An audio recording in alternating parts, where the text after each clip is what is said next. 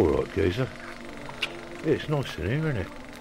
Nice little back street cinema house on a rainy day. You know, I remember when I was a kid, you'd have dozens of these places. They were all over the place. You know, places called the Ritz, the Rialto, the Essoldo, all of them. You couldn't move without tripping over a cinema. And of course, back in the day, they were very different to what they are today. They weren't all sanctified and, and sterilised and cleaned up. No, no, no, no, no. You'd go in, there'd be there'd be a little old lady, wouldn't there, in the booth, and she'd have the old horn rimmed glasses on.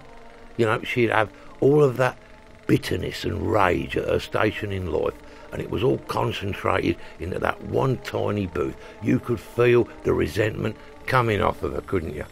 And then be the manager. The manager, he'd be some geezer, he'd be hanging around. You'd know him. He'd be he'd be fancy dressed. He'd have the dinner jacket on, wouldn't he? He'd have the bow tie, and he'd always have that that little look, that little smirk, as if he knew what you were up to, or as if he was doing something behind your back. You never knew what they got up to, them sort of blokes. You never knew. And and there'd be there'd be the ice cream girl, wouldn't there? She was like a little erotic oasis in the middle of all that cinematic darkness. She'd be there with her, her frozen goods on her tray, wouldn't you? And and you'd have the usherette. You'd have the usherette with her torch. And what was that about? They always had a bad leg, didn't they? Them usherettes back then in the fifties, they always had a bad leg. You know, and and of course it'd be the atmosphere of the places, all sorts of stuff used to go on, didn't it? In the dark, in the dark and the smoke. You know, you'd have a you'd have a couple behind you, wouldn't you? They'd be having a good old time there.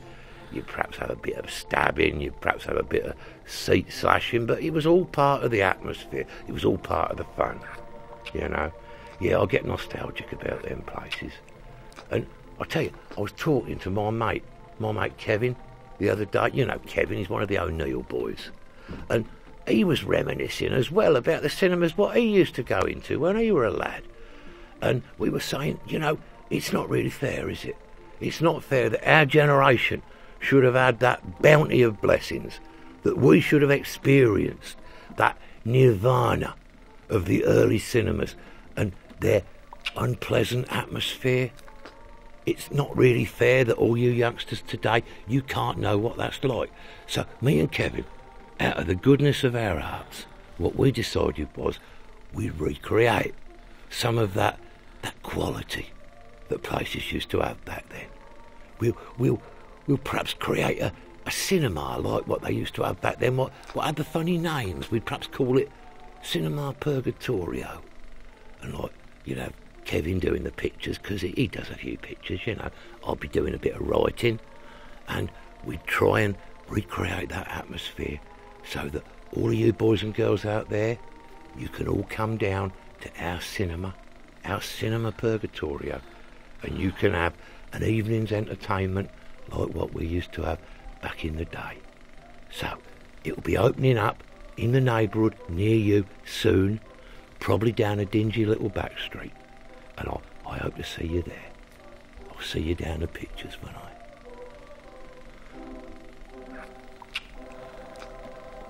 Oi, oi, do you mind?